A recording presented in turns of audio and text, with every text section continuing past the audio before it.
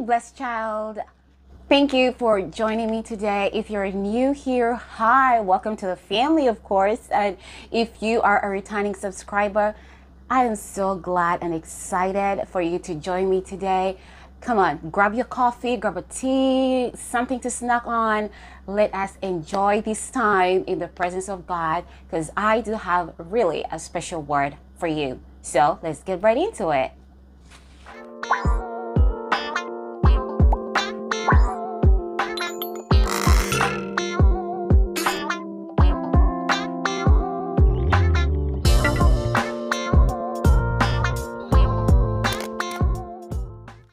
So, getting straight into the message, um, as I was praying some time, I, I kind of felt like the Lord impressed on my heart to talk about this. I, and I was like, I really don't know why. I didn't know how I was going to relay this message, but He knows best.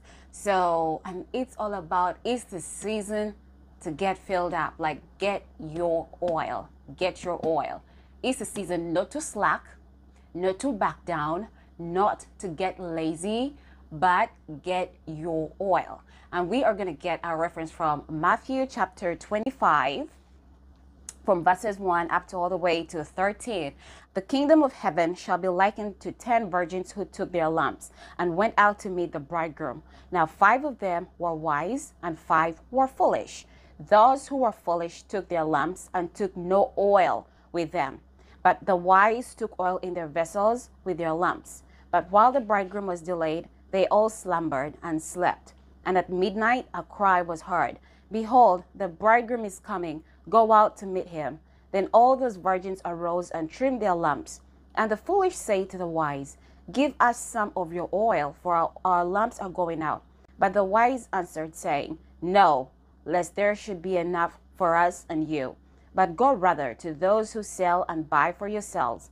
And while they went to buy, the bridegroom came and those who were ready went in with him to the wedding. And, the, and as the door was shut, the other virgins came also, saying, Lord, Lord, open to us. But he answered and said, Assuredly, I say unto you, I do not know you. Watch, therefore, for you know neither the day nor the hour in which the Son of Man is coming. Very first time I was reading this parable, um, of course, I had so many questions, right? And of course, as you keep having questions like, you know, the Holy Spirit keeps downloading his answers down onto you. First of all, which bridegroom shows up at midnight? We are so accustomed to weddings being between two and probably you'll be having the reception at about five. So, what kind of wedding? Well, the bridegroom shows up at midnight right? But this is likened unto the kingdom of heaven. Like you know what time the groom should be there. You know what time the groom should be at the church waiting for his bride. So in that way, it's like we, um, the way the Holy Spirit laid this down for me is that it's like we want to articulate or give God a time for him to show up and as these girls were waiting and they waited, they, they got tired of waiting and they slept off. And guess what? The bridegroom showed up and announced at midnight. And that and in like in likeness, that's how the our Lord and Savior is going to show up. and announced. Like you do not know when or how or what time he's going to show up. You thought he was going to show up today. You thought he was going to show up tomorrow. You thought he was going to show up at 2 p.m., 4, 5, 6, 7, 8, 9, 10. And as you are waiting, you get tired of waiting and then you slumber into sleep. And then he shows up at the time you least expected midnight. Midnight. Everybody started by midnight. You're tired at midnight, you're, you're asleep, and that's when uh, that's when he shows up what is the message? What is God trying to portray? That He will not come at the time that you think He's going to come. He will not come at the time you assume He's going to. He's not going to come at your own convenience. He's not going to come at your timetable. He's not going to come when you think you are ready for Him. He's going to come in His own time when He says, I am ready to show up. But the question remains are you ready when He shows up? Are you ready? And we have the likeness of 10 virgins. We have five foolish ones and five wise so in ones. the likeness of oil, I have, um, you know, once upon a time when I just, when I had just bought my first car, And I had no, at the time, I had no knowledge about cars. Don't judge me.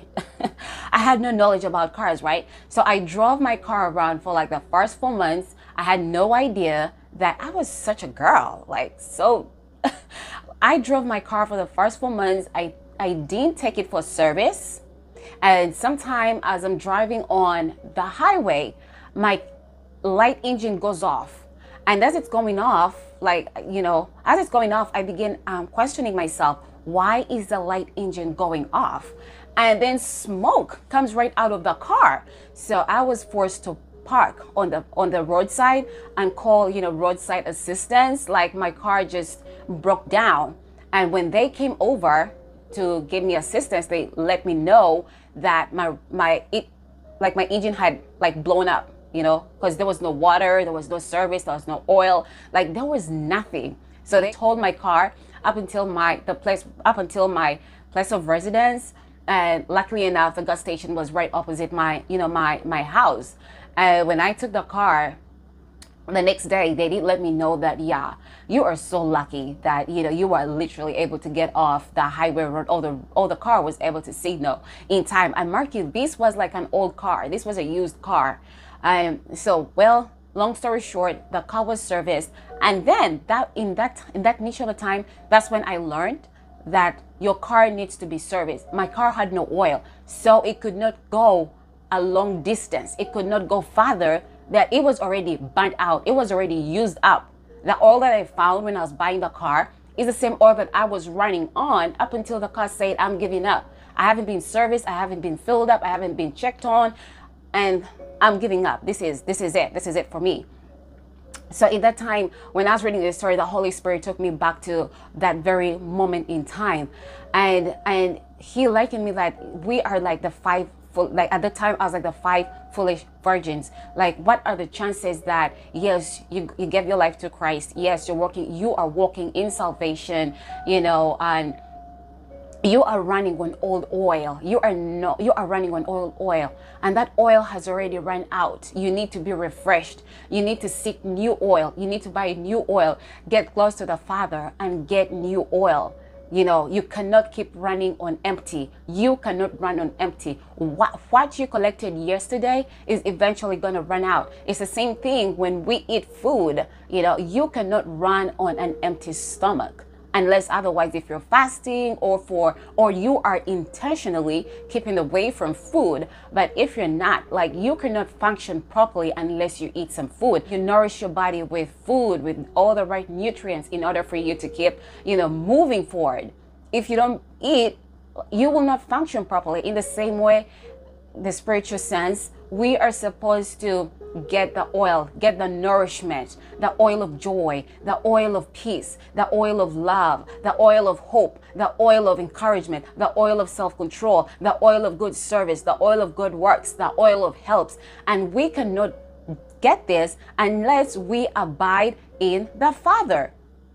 Jesus Christ said in, in his word, outside of him, we cannot do nothing. We cannot do anything. But when we are when we abide in him, then uh, then we can be able to do all that he has called us into, then we are able to bear fruit. But apart from him, outside of him, we cannot bear fruit. Apart from him, we cannot do much. Why why would we risk why would we risk being like the five foolish virgins who did not go out to seek their oil? And then they slumbered. Oh my God, the bridegroom is like taking forever.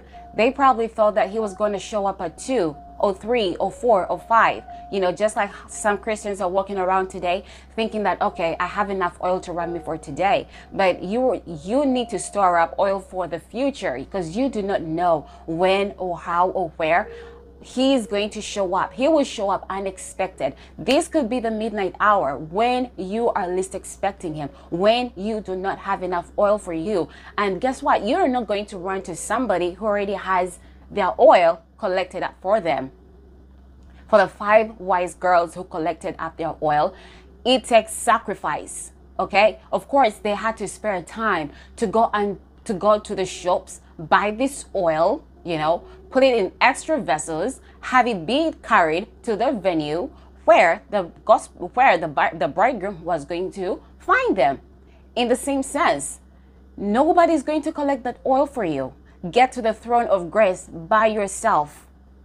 No one will repent for you the most I can do for you is I can pray for you, but I cannot reach the throne of grace for you, if you get what I'm saying. Like I can intercede for you, but you need to have your own intimate relationship with the Father. You have your own issues. I have my own issues. Only you can express yourself to the Father the way that you can. Only you know what you need, and He knows what you need. What kind of oil? Not every car gets the same kind of oil, right? Some cars take diesel other cars take petroleum. Uh, God knows what kind of oil that you need.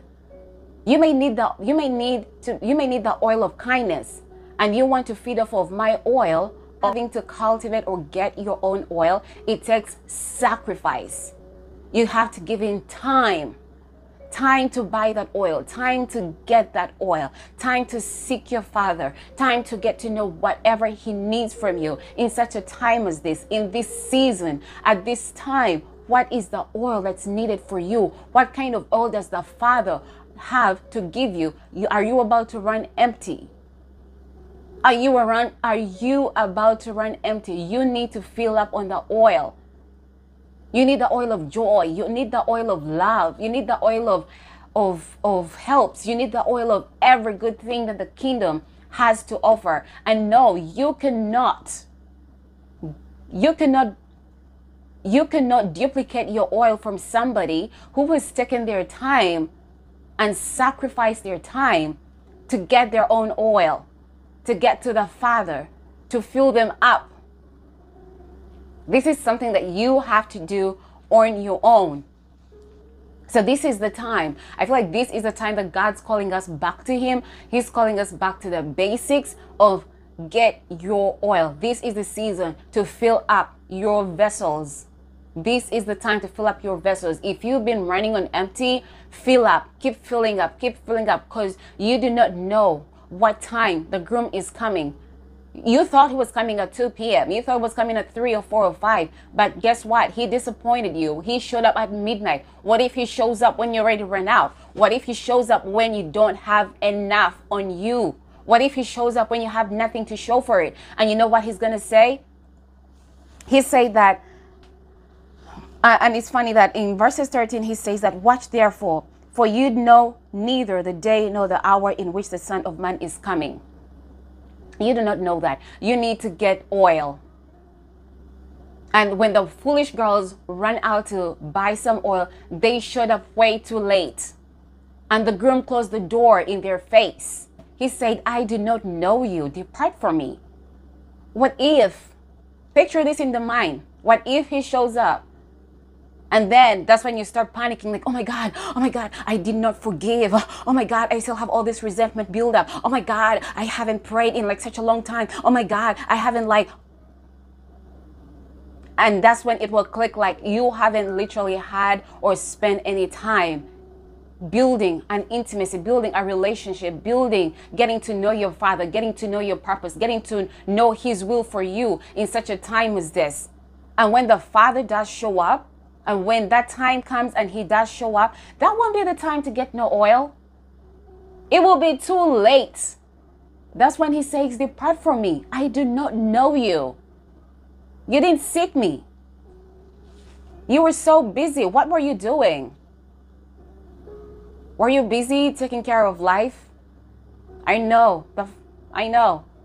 We're all busy. The distractions are way too many. But he's just asking for your time. He's just asking for you to sacrifice and give him your time. Fill up. You cannot run on empty. Fill up before it's too late. So, and as I'm telling you this, it's bouncing back on me as well. That's how I know. That's how I know that it wasn't for me. So, as I'm telling you, I'm talking myself as well. He's saying, fill up. This is the season to get your oil before the time runs up. Time is not promised to any man. You're here today, what could happen tomorrow. We don't know. Time is not promised to any man. This is the time.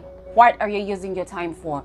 Get rid of the get rid of the distractions. Collect the oil while you still have the time. Because when the time is up, they are locking the, they are shutting the door in your face. This is the time to collect the oil. I'm talking to you. This is the time and the season to get the oil. And one more last thing, as you get that oil, you want to be you want to be watchful and prayerful. Because the five wise girls, they did not know either. They slumbered the same time with the foolish ones. But at least they slumbered prepared. They slept off prepared. Are you prepared? Are you prepared? Let's get wise in this season. Get rid of all the extra baggage. Get rid of all the unforgiveness, of all the bitterness. Get rid of the gossip. Get rid of the slander. Get rid of all the unnecessary stuff and fill up on the good oil. Don't be like the five foolish virgins who went ahead and slept knowing that they were going to run empty. But the wise ones stored enough for them. And they run to the wise ones, help us with your oil. I cannot help you with my oil. I did my own sacrifice. I sacrificed my time. I sought my father. I sought my father. I cannot seek him for you. You have to know him for yourself. You have to know what it is that he requires of you in this season. You have to know your purpose. What have you been called to do? If he's going to show up and he's coming for his bride, is his bride ready? If you're not ready, you're going to be thrown out. And I'm talking myself as well. Like, I'm checking myself, like, pretty much all the time. So, and as we've taken time off, you know, in the season of, in the month of January, I know uh, like a lot of churches have taken time off to fast and pray. And one of the things that the Lord highlighted for me was my use of time. My use of time. It was like, girl, you're throwing away so much time doing the unnecessary. Throw away all the distractions. This is the time to get your oil. It's not the time to be gossiping. It's not the time to be slandering. It's not the time to be funny. It's not the time. It's the time to get right. It's the time to get your oil. It's the time collect that oil. You cannot run on empty. If you run on empty, you are going to collapse. If you run on empty, you're going to crash. So that was the word for today. I'm sorry. Um, it wasn't, there was no drama, no skit, no play.